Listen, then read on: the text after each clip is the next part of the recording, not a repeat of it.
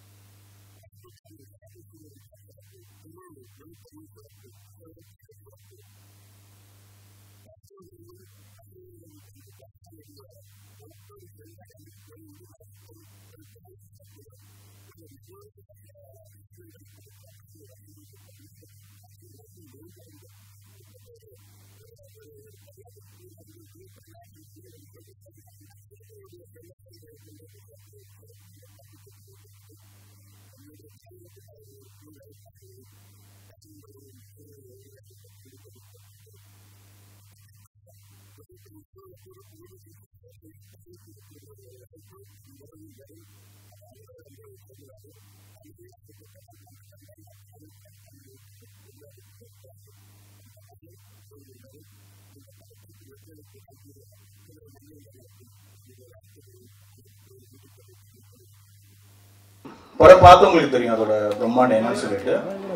So கஷ்டப்பட்டு work பண்ணி Priyadarshan sir எடுத்திருக்காங்க. இந்த படத்துக்கு அவங்க சன்னு தான் வந்து சிஜி விஎஃப்எக்ஸ் பண்ணியிருக்காங்க. Siddharth Priyadarshan.